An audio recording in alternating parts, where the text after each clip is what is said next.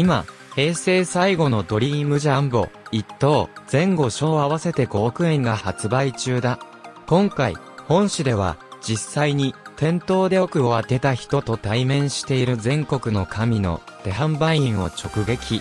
実際に億を当てた人の買い方の法則を聞いてみた。開業は昭和23年。私の父が始めました。小学生の頃には私も売り場を手伝ってましたそう。話すのは大阪府近鉄上本町駅売り場の販売員野田奈美恵さん。彼女が一番覚えているのが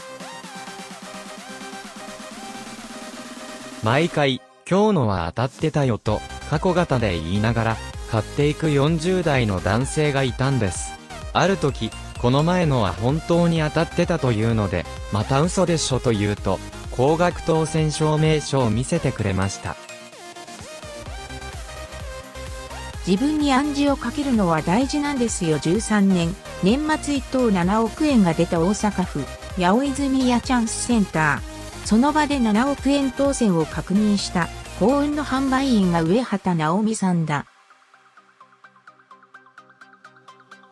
年末最終日、近所の社長さんが、なぜか当たる気がするから、今銀行で下ろしてきたと100万円を持参して3330枚を買っていったんです。年が明けて、当選確認の機械に通したら7億円大当たり。ひらめいたら多めに買うことも大切だと思いました。そんな、上畑さんがミニロト1等を当てた男性から教わったのが、手に赤ペンで線を描く開運法。中指と薬指の間に3本線を描き、環状線のもとに X を書くだけ。まさかと思ってやってみたら、自分も書いたその日にナンバーズ読んで1万円が当たりました。かっこ洗い紙の手販売員が目撃した奥を招いた人の作法。何か一つ、験担ぎに真似てみてはいかがバレンタインジャンボでは、ロト6とジャンボ1等連動説が再び、バレンタインジャンボ発売中の2月11日でした。ロト6で1等約1億後、0円が出たんです。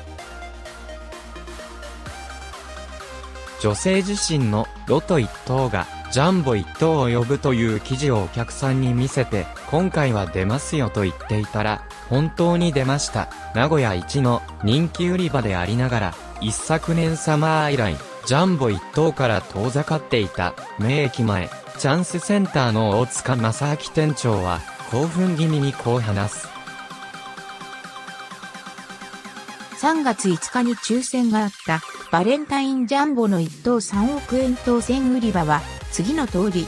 北海道札幌愛の里チャンスセンター、北海道すすきのラフィラ1階東口宝くじボックス、山形県、山形南4チャンスセンター、東京都、みずほ銀行銀座中央支店、愛知県、名駅前チャンスセンター、滋賀県、南彦根ビバシティチャンスセンター、大阪府、高槻グリーンプラザチャンスセンター中でも注目は、全7本のうち、北海道札幌市で2本が出ていることだろう。